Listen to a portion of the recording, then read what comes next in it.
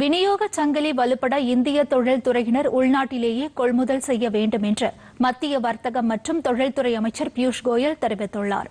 சுவிட்சர்லாந்தின் டாவோஸில் நடைபெறும் வர்த்தகம் தொடர்புடைய மாநாட்டு நிகழ்ச்சியில் பேசிய அவர் விலைவாசி உயர்வை கட்டுக்குள் வைத்துக் கொள்ள இந்தியா அனைத்து முயற்சிகளையும் தொடர்ந்து மேற்கொண்டு வருவதாகவும் அவர் கூறினார்.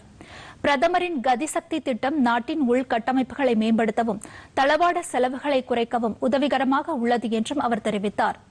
ஐக்கிய அரபு அமீரகம் மற்றும் ஆஸ்திரேலியாவுடன் அண்மையில் மேற்கொள்ளப்பட்ட வர்த்தக ஒப்பந்தங்கள் சர்வதேச அளவில் இந்தியாவுக்கு புதிய வாய்ப்புகளை ஏற்படுத்தியிருப்பதாக கூறினார். கனடா ஐரோப்பிய யூனியன் இங்கிலாந்து இஸ்ரேல் ஆகியவற்றுடனும் விரைவில் புதிய வர்த்தக ஒப்பந்தங்கள் ஏற்படுத்தப்பட உள்ளதாகவும் அமைச்சர் தெரிவித்தார்.